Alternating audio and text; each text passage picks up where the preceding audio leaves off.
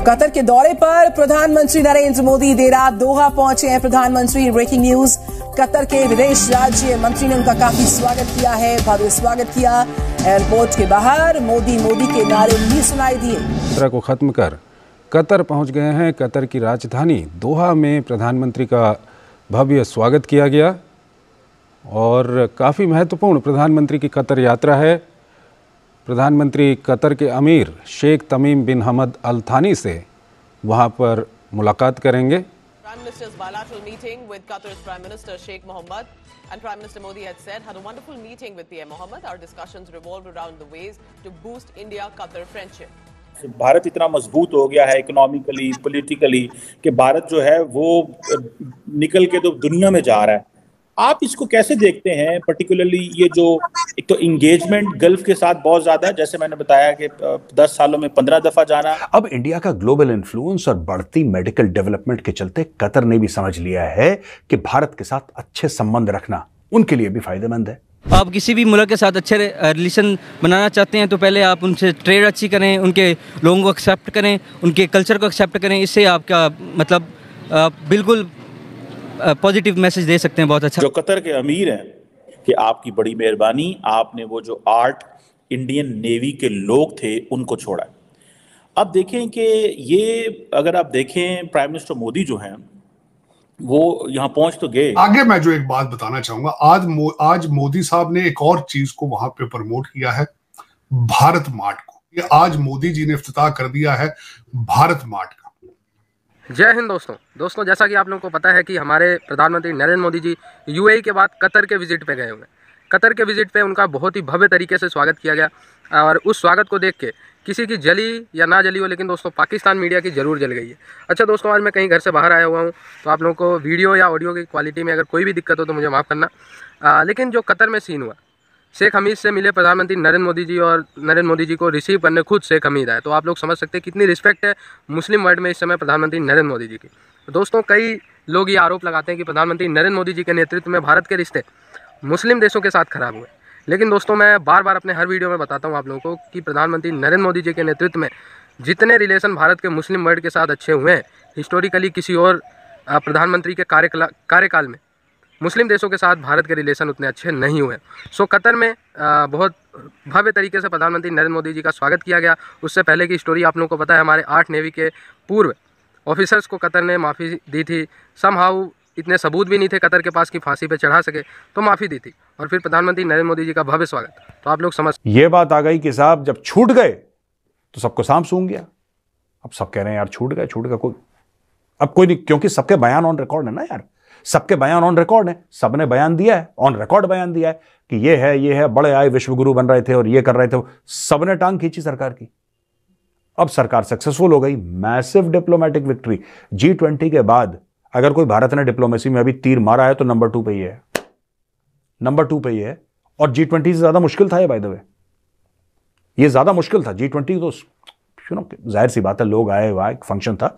ये ज़्यादा मुश्किल था, एक मुस्लिम देश, शरिया से चलने वाला देश, जहाँ पे आरोप लगा है कि यहूदियों के लिए ये लोग जासूसी कर रहे हैं इसराइल के लिए जासूसी कर रहे हैं, वहाँ पे यहूदियों के लिए कितनी नफरत है, उसके बावजूद उनको मौत के मुँह से निकाल लेना और वापस सुरक्षित भारत लाना, अपने परिवार के पास वापस भेज देना। बॉस, ये बहुत तगड़ी बात है। लेकिन इसमें भी अब ये हो नहीं सकता कि आपकी जो है वो फॉरेन पॉलिसी का पूरा फोकस जो है वो मुस्लिम कंट्रीज़ हों, आप उनके साथ ताल्लुकात बना रहे हों, आप जो है वो ब्रिज जो है वो बिल्ड कर रहे हों, इस तरह के मंसूबे जो कॉमन इंटरेस्ट के वो डेवलप कर रहे हों ट्रेड और इन्वेस्टमेंट की बड़ी बड़ी जो है वो इस रोड मैप दे रहे हों। और दूसरी तरफ़ आप खाम खा, वही इल्ज़ाम जो है वो फूंपा जाता रहा है कि ये जी कोई मुसलमानों के खिलाफ कोई जो है ना, वो चूँकि ये दोनों चीज़ें साथ में बैठती नहीं है। बेसिकली इससे ये अब मैसेज सामने आना शुरू हो गया कि ये अरब दुनिया को मिसगाइड करने के लिए एक प्रोपोगंडा जो है वो लॉन्च किया गया था, ताकि इंडिया को जो है वो अरबों से दूर किया जाए। और अरब राय आमा चूँकि बुनियादी तौर पर बहुत ज़्यादा उस तरह इंटरनेशनली कनेक्टेड नहीं रही है, अपनी जो प्रेस और पब्लिकेशन और फ्रीडम ऑफ़ एक्सप्रेशन के हवाले से, इसलिए वो बहुत जल्दी इस तरह के जो प्रोपोगंडे हैं, उसका शिकार होते हैं। ये एक ओपिनियन है। कि इसको बुनियाद बनाया गया ताकि इसके खिलाफ अरब जो है वो रिएक्ट करें और उसमें जो भारत की मिडल ईस्ट के साथ मुस्लिम मिडल ईस्ट के साथ जो एक कोऑर्डिनेशन बन रहा है उसको रोका जाए जो कि रुक नहीं सका।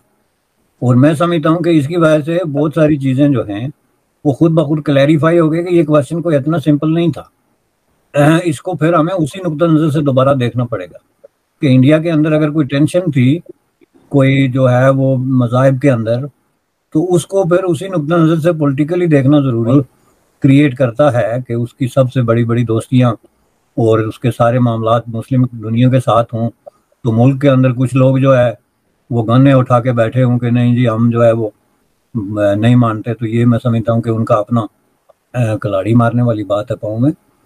जहाँ तक बात है मंदिर की कि देखें, पहली बात यह है कि ये उस तरह की कोई रिएक्शन नहीं है कि पहले मुसलमान भारत में आए तो अब भारत कहीं मुसलमानों में अपना कोई एजेंडा लेके जा रहा है। That's not the case Hinduism जो है, बुनियादी तौर पे इस तरह का रिलीजन है ही नहीं। वो बुनियादी तौर पे एक टोटली डिफरेंट रिलीजन है। उसमें इस तरह का जो एक्सपेंशनिज्म है, उसको जो फैलाने का तस्वर है इम्पोज करने का तस्वर है, नाफज करने का तस्वर है, जिस तरह के इस्लामी दुनिया में, इस्लाम का राय ऐसी कोई चीज़ नहीं है। क्योंकि वो इस तरह की उसके अंदर जो है वो है ही नहीं, उस तरह का वो मैसेज ही नहीं दे रहा। है वो एक ओपन मज़हब है, उसको लोग अपने अपने तरीके से जो है वो अडॉप्ट करते हैं ज़्यादातर कल्चरली रहा मंदिर बनाने का तो देखें, अब ये काम दस पंद्रह या बीस साल पहले तो नहीं हो सकता था। क्योंकि मिडिल ईस्ट में आज से दस पंद्रह या बीस साल पहले कितनी हिंदू आबादी थी। तो with the passage of time एक बहुत बड़ी पॉपुलेशन जो है, वो डिस्प्लेस हुए, लोग ट्रांसफ़र हुए रीप्लेस हुए, वहाँ जाके आबाद हुए। तो इतनी बड़ी आबादी आप जहाँ कहीं भी देखेंगे किसी भी मज़हब की तो उसके मंदिर भी बनेंगे उसकी मस्जिदें भी बनेंगी उसके जो है वो टेम्पल्स गुरुद्वारे ये सारी चीज़ें बनेंगी। जैसे वेस्ट में हुआ कि वेस्ट में तो यहाँ हमेशा से कोई जो है वो गुरुद्वारे और मंदिर तो नहीं थे ना तो जब आबादी हाँ, मैं बहुत ज़िम्मेदारी से ये बात कह रही हूँ कि आने वाले दस साल में पाकिस्तान मात्र एक ऐसा देश होगा जो कब्रिस्तान होगा मात्र एक ऐसा देश होगा। क्योंकि आप अल कुरान के हिसाब से भी आपका देश अपने आप को मॉडिफाई करने को तैयार नहीं है। अब मैं आपको बात, एक बात बताती हूँ कि देखिए, कल जब मोदी जी पहुँचे, बड़े बैंड बाजा के साथ जब उनकी उनकी एंट्री होती है ना, अल्लाह की कसम, मेरे मेरे तो कान वान सब लाल हो जाते हैं, चेहरा वेहरा देखो शाइन कर रहा है मेरा। मुझे, मैं उनको देखती हूँ ना कि मेरे भारत के प्रधानमंत्री के लिए जिस देश में हम जाते हैं अपने अफजल अरकान के लिए मक्का मुआजमा और मदीना मनवरा वहाँ पर मेरे मोदी जी को, मेरे प्रधानमंत्री के लिए ये बाबा पूरा आलिशान तरीका। तो मोहम्मद बिन जैद साहब ने उनको उनको बहुत अच्छे से होस्ट किया और होस्ट करने के बाद उनको जब मीटिंग में मीटिंग रूम में बॉल रूम में लेकर आया गया तो वहाँ पर यूपीआई से मीटिंग स्टार्ट हुई। यूपीआई भारत का यूपीआई जो है, वो बायोलेटरल रिलेशनशिप में आया और उसके बाद फिर मोदी जी ने कहा कि आईमैक कॉरिडोर के द्वारा पूरा अरब देश और भारत बहुत तरक्की करेगा और सिर्फ़ इकोनॉमी ही बूस्ट नहीं होगी इन दो देशों की, बल्कि आईमैक कॉरिडोर के द्वारा इन दो देशों में रहने वाले हर एक नागरिक भी ब्राइट और शाइन हो जाएँगे। अब ज़ाहिर सी बात है कि जिस देश की इकोनॉमी बहुत बहुत बढ़ी हुई रहती है, वहाँ के हर व्यक्ति हर व्यक्ति वहाँ का कमाओ होता है। उसके पास एम्प्लॉयमेंट होता है, उसके पास कमाने का ज़रिया होता है, उसके सर पे छत होती है, उसके पेट में रोटियाँ होती हैं तो नौकरी अगर आपके पास है तो शिक्षा अगर आपके पास है तो ज़ाहिर सी बात है कि बाकी सारी लग्जेरियस लाइफ आपके पास होगी। और सबसे ज़्यादा फोकस हमारे भारत के प्रधानमंत्री ने इन दस सालों में नौकरी और शिक्षा पर बहुत ज़्यादा दिया है। इवन पसमानदा मुसलमानों को भी उन्होंने भारत में बहुत स्पीचेस दी हैं। तो दोस्तों, कतर में प्रधानमंत्री नरेंद्र मोदी जी का स्वागत। तो पाकिस्तान मीडिया का जलना तो इस पर बनता ही है। क्योंकि दोस्तों, अभी तक गल्फ नेशन में पाकिस्तान ने एक ही कार्ड खेला था। पूरे मुस्लिम दुनिया में, पूरी दुनिया में एक ही कार्ड खेला था पाकिस्तान ने कि भारत में मुस्लिमों पर टॉर्चर हो रहा है। ठीक है, लेकिन दोस्तों, अगर कहीं पे मुस्लिम सबसे ज़्यादा सेफ़ है पूरी दुनिया में तो दोस्तों, सिर्फ़ और सिर्फ़ वो भारत है। इस समय पाकिस्तान के मस्जिदों में धमाके की खबर आप लोग हमेशा आए दिन सुनते रहते हैं। मिडिल ईस्ट में आप लोगों को पता है, पूरी कहानी प्रजातंत्र है ही नहीं, बिल्कुल राजतंत्र है। ठीक है, हर जगह सीरिया इराक इसके बाद ईरान, इन सब जगहों पे आप लोगों को मुस्लिम की कंडीशन बांग्लादेश में भी पता है। तो भारत में मुस्लिमों को मुस्लिमों को क्या? भारत में सभी समुदाय को फ्री का राशन मिलता है फ्री का सब कुछ मिलता है, फिर खा के सरकार को गाली देना बहुत आसान होता है। ठीक है? लेकिन सरकार ने एक्चुअल में जो डिलीवर किया आज 48 घंटे में भारत के किसी भी मुस्लिम भाई का वीज़ा लग सकता है सऊदी अरेबिया में। आज मुस्लिम देश में हमारे मुस्लिम भाई भारत के जो जाते हैं, उनकी अलग रिस्पेक्ट होती है, लेकिन पाकिस्तानी बांग्लादेश या अदर मुल्क के लोगों को अलग नज़रिए से ट्रीट किया जाता है। क्यों? क्योंकि प्रधानमंत्री नरेंद्र मोदी जी के नेतृत्व में भारत के रिश्ते सिर्फ़ कतर ही नहीं, तमाम मुस्लिम देशों के साथ अलग ही लेवल पर पहुँचे। और कतर के साथ भी यही सीन है तो।